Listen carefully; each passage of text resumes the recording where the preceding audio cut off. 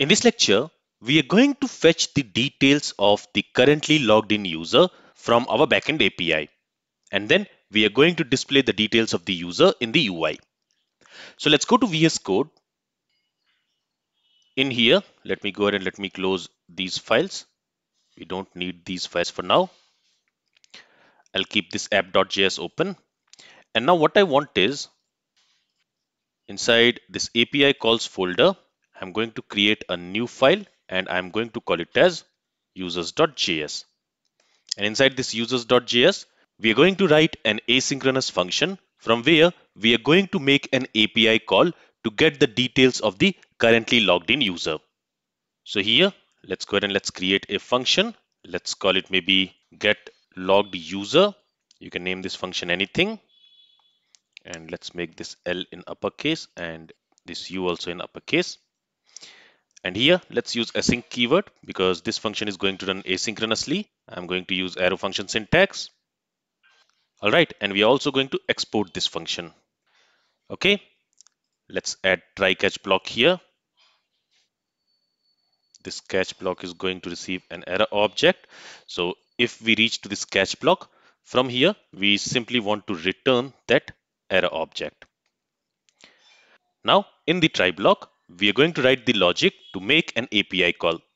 And in order to make an API call, first here we are going to import the Axios instance. Okay, and let's go and let's use this Axios instance. So on this Axios instance, we are going to call the get method because here we are going to make a get request and this method is going to run asynchronously. So let's also use the await keyword here. And to this get method, we need to specify the endpoint, the URL of the API from where we want to fetch the data. So here we need to go to the API slash users or it is user. So let's go to Postman and let's check that endpoint. So here we have the user controller and here we want to get the logged user detail. For that API is API slash user slash get logged user. So let me copy this and let's specify it here. And with this, we are not going to send any request body, but this API here, it is a protected API. It can only be accessed by a logged in user, by an authenticated user. So here with this request, we also need to send the authentication token with the request header. And that we are already doing. So let me save this file and in the index.js file where we are creating this Axios instance, there on that we are already adding this authorization header. So whenever we are going to use this Axios instance for making a request, whether it is a get request, post request, put request, delete request, it doesn't matter which type of request it is. With that request, it is always going to send this authorization header. In the authorization header, we have this bearer token and we are reading the token from the local storage. So this request which we are sending from here, with that request, we are already sending the authentication token, the JSON web token with the request. So if everything is okay in this API, in that case, it is going to return us a response Let's go ahead and let's store that response in a variable. And from this function, we are going to return the response data. And this is it. Let's save this. Now in the protected route, so in the components folder, we have created this protected route. In here, we are going to write a function from where we are going to call that get logged user function. So again, let's create a function here. Let's call it get logged in user. And here again, I'm going to use arrow function syntax. And this function, it is going to run asynchronously. Okay.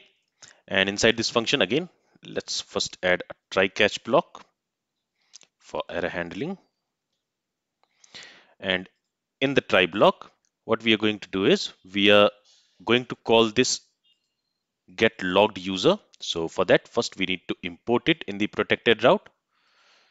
So I'm going to import get logged user from, so from the current directory. We are going to move one directory up. There we have the API calls. In that we have the users.js file. So from there we are exporting this get logged user. And that exported function we want to assign to this get logged user variable. Okay? Now let's use this function here. Let's call that function and this function is going to run asynchronously. So let's also use await keyword in front of it. And this function it is going to return us the response data. So let's go ahead and let's create a variable. Let's call it response. And to that let's assign that response data. And instead of creating this response here let's create this response variable before this try block. So here let's say let response equals null. And then in the try block we are assigning that response with the response data which this function will return us. And for this catch block we are also going to receive the error object. Okay now what we are going to do is we are going to check if response dot success if it is true. That means the response was successful and in the response this API which we are calling here this get logged user API it is going to return us a user object. So what we want is in here let's go ahead and let's create a state.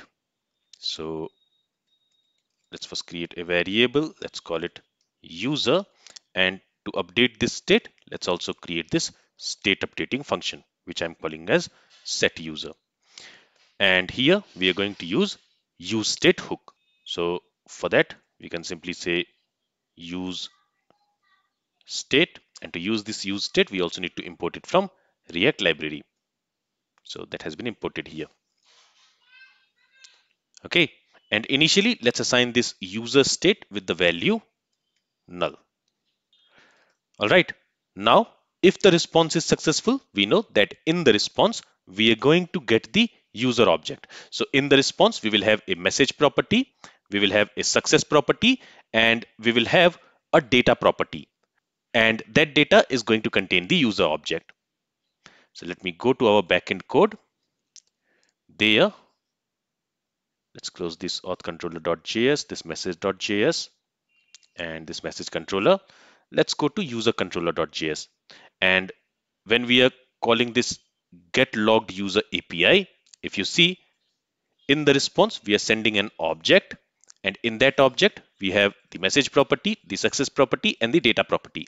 And this data property is storing the user object which we have fetched from the database based on the ID. Now this ID we are reading from the JSON web token which we are passing with the request. So here what we are going to do is we are going to call this set user. So this is our state updating function which is going to update this user state and we want to update this user state with response data. So here you can say response dot data. And this response data, it is going to return us a user object. And using this set user, we are assigning this user state with that user object. Okay, so this is when the response is success. But if the response is, let's say, some error response, some error has occurred while making the request. In that case, what we want is we simply want to navigate the user to login page. And same thing we want to do in the catch block. Let's save the changes. And finally, what we also want to do is here before this children, we are going to use this user state. So here what I'm going to do is I'm going to create a paragraph and there I'll say name and in there we are going to display the full name of the user. So I'll say user which is our state dot first name. Let's add a space and then user dot last name. Let's save the changes and let's see if everything works properly or not. So let's first check the terminal and there let's see if we have any error so it says get logged in user is assigned a value but it is never used and that's correct because we have created this function get logged in user but we are not calling it anywhere so where are we going to call this function we are going to call this function when in the local storage we have a JSON web token. So in the local storage, if we have JSON web token, in that case, we want to call this function. Otherwise, if in the local storage, we don't have the JSON web token, we simply want to navigate the user to the login page. Because as we learned in the last lecture, when a user is logged in, we are going to save the JSON web token of that user, the authentication token of that user in the browser's local storage. So if in the local storage a token is present, that means the user is logged in. But if it is not present, that means the user is not logged in. And when the user is not logged in, we are navigating the user to the login page. But if the user is logged in, in that case, we are going to call this function. Let's save the changes now. So what will happen is when the application will be loaded for the first time, this use effect hook will be called in there, we are checking if in the local storage we have any JSON web token. If we have a JSON web token, we are going to execute this get logged in user function. And what that function is going to do is it is going to fetch the user detail and it is going to assign this user state with that user detail, with that user object which we are receiving in the response. Okay. So with this, let's save the changes. Let's quickly check if we have any error. We don't have any error. So our application is built successfully. Let's go to the browser and there let me go ahead and let me log in a user. So here I'm going to log in using John Smith account. So if I click on this login button, if we are logged in successfully, it is going to redirect us to the home page. But here we are not seeing anything if we inspect here and if we go to console I can see that we have an error and it says cannot read property of null. All right this error we have because initially this user is null. So when this component will be rendered for the first time at that time this user will be null. Right? And on that null we are trying to use this first name property. So that's why we have the error. So here what we are going to do is we are going to use null coalescing operator for both first name and last name. So when this component will be rendered at that time this user will be null but when this use effect hook will run after that it is going to update that user object that user state with the user object which we are going to receive in the response and then it should display the first name and last name from that user. So let's save the changes again let's go to the browser and now you can see we can see the username here which is John Smith. If you want you can also print the email of the user. So again let's add another paragraph here. Let's display the email. Display the email. Again we are going to use a set of curly braces like this. And in there we will say user. We will use null coalescing operator and then the email of the user. And let's also add a line break let's save the changes. Let's go to the browser now. And now we should see both username and email. Okay so in this way we are able to fetch the details of the currently logged in user. If I go to login page and if I log in using Mary's account and password is test1234 let's log in and now you can see the details of Mary her first name and last name and her email address. Now in our react application currently we are creating this state using this use state hook. But what we are going to do is we are going to do state management in this react application using react redux.